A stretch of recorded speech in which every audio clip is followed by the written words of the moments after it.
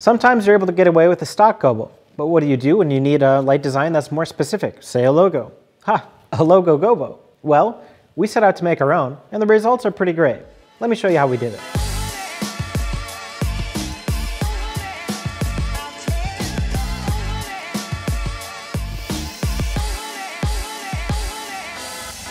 We originally started thinking about this when we received our Aputure Spotlight mount. We go over the spot itself in another video, which you can find here or in the description below. The Spotlight came with a few designs of its own, and we made good use of them in a few different commercials. This got me thinking, you know, we could probably make our own gobos. Designing the parts wasn't anything crazy. I measured the sled and the discs themselves, making note of what tolerances the parts had, and then making sure I knew what the safe zone of the discs were.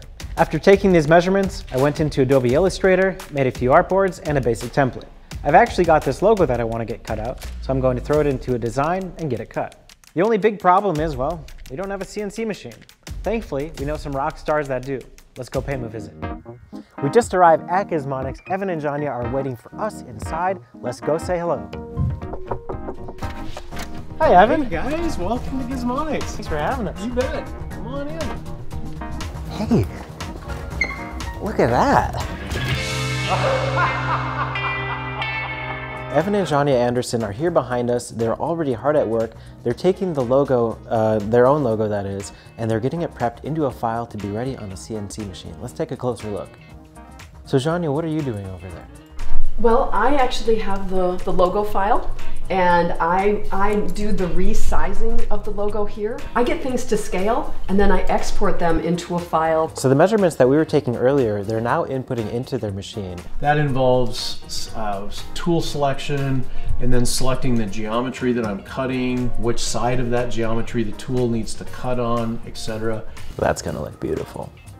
It's impossible to make a square corner, square inside corner with a round tool. You always get a little bit of a radius, so I'm kind of working on uh, proper tool selection right now. Evan and Johnny like to work on a lot of secret projects, so what's on the monitor right now, we had to blur it out because you can't legally see it. All right, so our files are all prepped. Behind me is the Laguna Swift CNC router. Evan's putting the files in. Let's go take a look. Well, I think I've got the machine ready to go. All I have to do, I've told it where the material is, I've told it where the tool is. I just need to push go. Spinning up.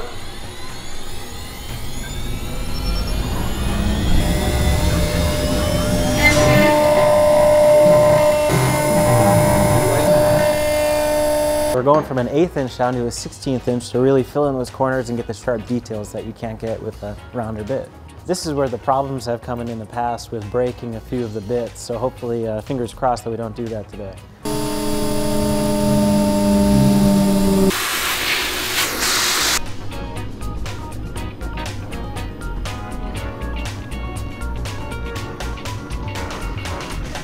That is really clean. We've got the finished gobo. It looks really clean. The edges came out really great. Yep. I'm excited to get it thrown into the Leko and see what it looks like. Can't wait. Thanks a ton, Evan. You bet. All right, let's take a look at this. Turned out great. We're gonna see it in action.